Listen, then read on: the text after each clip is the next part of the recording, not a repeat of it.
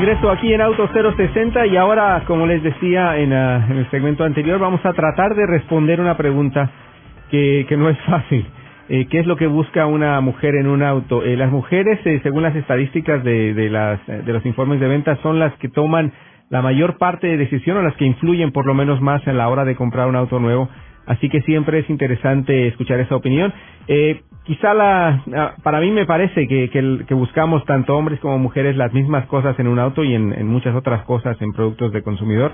buen precio, buen valor y sobre todo que nos guste, ¿no? Así que, bueno, vamos a ver qué, qué es la respuesta a la que llegamos o a la conclusión que llegamos. Están, vamos a hablar con eh, Cynthia Bogart es una periodista eh, que, no es especializada en los autos, así que es más todavía interesante su opinión porque es un punto de vista más del consumidor. Aquí va Cynthia Bogart. Hi Cynthia, how are you? I'm good, Javier. How are you?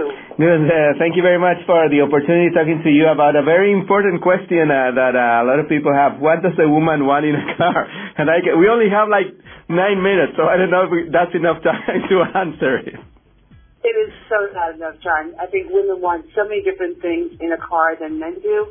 Uh, and I think they're really just practical um, applications. Yeah. I remember Volvo like five, six, seven years ago. I remember I was at the Geneva Auto Show, I believe. They they they presented a car that supposedly was specifically designed for women. I mean, it never made it to production. I think it had like things in the headrest. It had like a like an opening for the hair to be put through there and like things like that. But uh, I mean, tell me like a few basic things that women really like in the car. Because to me, I think we are the same. As we were looking for a car that we like and that we can afford. Basically, the, the basics are basically the same for men and women. Women really want a few basic things. They want comfort. They want ease. They want the technology to be intuitive, meaning that it's not hard to figure out and they want, with today's um, car makers, all those little extra um, necessities that are coming in, the plugins for their cell phones, the chargers, the Bluetooth, um, the safety features, uh, airbags, the keyless push button start. But the most important thing is what color does it come in and how many miles to the gallon does it get? And that's really the bottom line. Um, they, they're not looking for, you know, what's under the hood. They, they could care less. Is it going to get them from point A to point B? And that, that probably, and not break down the highway. That's another big thing. Yeah. So this is not for all women. A lot of women do really love their cars, but for the basic gal who's going to work, driving kids around, and doing all of that, that's basically it in a nutshell. Yeah. I understand that you did a, uh, there was a program recently, I believe in Portland, where uh, a bunch of, uh, a group of um, female automotive uh, journalists went and test drove uh, uh, a lot of few cars. Um, what did you uh, like over there? It was a great program. It was with Heels and Wheels, and all the car companies um, brought one of their cars, and a bunch of women journalists were brought together to t- test drive it. And they're riding drives. It's a common thing, but I work online. I don't work on paper anymore.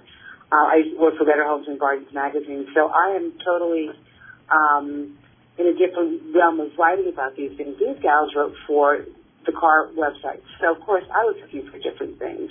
Yeah, and I... I, I an Aston Martin DB9, I was pretty happy. it was mm-hmm. like, I could do this. This is what a woman wants. She wants a really cool, red, fast car. Why not? Yeah, absolutely. And I, I, I think it's uh, more interesting talking to you to other like colleagues that I, that I know from the automotive industry because you look more like from the consumer perspective. I mean, like you obviously uh, do other other kind of job, but like for me, your perspective is unique in, in this sense because you don't look at the same things that we journalists, automotive journalists, do. Absolutely not, and that's that's probably because I was a you know magazine magazine editor and our big thing was what does our reader want to hear? What does your consumer want? Mm. And that's the information that you really have to be on top of. And that's that's how I looked at it. But um, th- that's that, that's really what we should be looking at. I mean, we're not right. I'm not writing to other car people. I'm writing to women's audience um, on our site. So it's a big difference. Yeah. So sold cars, by the way, which has really amazed me people have written me and said, I bought that car that you recommended because it was so interesting. In the article, I went and tested it out. So you really can make an impact by going with the lifestyle box. Yeah. So you said uh, you drove, uh, for example, models like the Mazda 6, the Buick Verano, the Kia Cadenza, the new Kia Cadenza. I mean, it's like a, a luxury car mm-hmm. from the from the car. Which uh, was your favorite at the end? I mean, which one would you buy? Um, we drove a slew of them. Out of the sedans, oh God, they were all great. I did love that Kia which was a, a, a shock. I mean, it was a surprise to see Kia um, putting out such a really nice luxury car. Um, I drove the, the new um, Roadster, the, the mini Roadster. That was really, really cool. Very, very small, very tight. Um, and of course, you know, I'm a I'm a mom. My kids have just started driving, so I don't have the big cars anymore. But I love Jeep's new Grand Cherokee.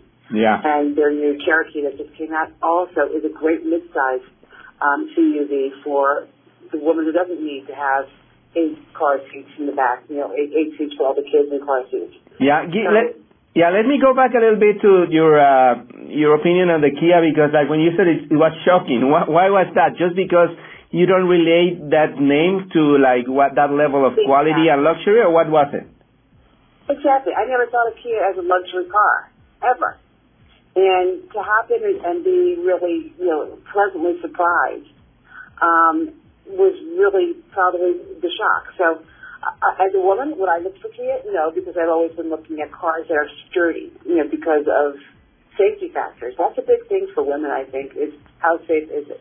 Uh, especially if you're driving kids around. But even after that point, you want safety. So I never thought about Kia being one of those cars. Now I do.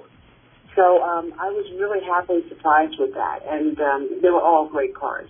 They yeah. really were. Yeah, and uh, in the previous segment, actually, we had an interview with a representative from State Farm, the insurance company, that they're doing a campaign on how to educate uh, parents and uh, teenager or first drivers to, to do things. And some of these cars have some pretty cool and useful technology. Is that a factor that will uh, would would influence your decision uh, when you buy a car? Like, well, you were saying you have like kids who are just trying to drive, right? Yeah, to- totally. Yeah. Um, it, it's a big decision, the safety factor, and I love Jeep's new motto with their um, with their Cherokee: "It's hands on the wheels, eyes on the road," and everything, and that really pertains to a lot of the way the cars cars are being developed. All the all the things are um, on the wheel for managing the uh, the radio and um, heat and whatever other kind of sensors they put out there. Uh, so you really can focus on on driving. But safety is probably the biggest factor, I think, especially with, you know, me putting three kids in cars now. Um, you know, it's nerve wracking. Um, so definitely, I think the safety factors are huge, and I love the way that um, all of them. I mean, the key keyless start, all of that stuff was really, really um, easy for women to figure out. Because let's face it, we're really not necessarily technical beasts. We really don't you know, go in and say, gee, this is a great feature. I do love the idea that they have, like in, in one of the cars, you pull up the seat and you can put your pocketbook under in a seat compartment. Yeah. I love that whole idea of, you know, making this very easy for women to handle. Yeah. Well, so, Cynthia Cynthia Bogart from uh, the Daily Basics, right? So um, uh, that's where people can find your uh, your articles and all, all what you publish. Yep, thedailybasics.com. Excellent. That's where we're at. Excellent. Thank you very much, uh, Cynthia, and uh, I hope uh, we answer at least a few aspects of this uh, question. What does a woman want in a car? And uh, it's not an easy one, but I think we did, we covered a lot of it. Yeah, great. Thank you, Javi. I really appreciate the opportunity to talk with you. Thank you very much, and I hope to see you on the road one of these days. Bye. Great. Thank you. Pues esta fue la respuesta de Cynthia Bogart sobre el tema de qué es lo que busca una mujer en un auto. Y los espero en la próxima edición de Auto 060. Yo soy Javier Mota y esto es Cristina Radio Network.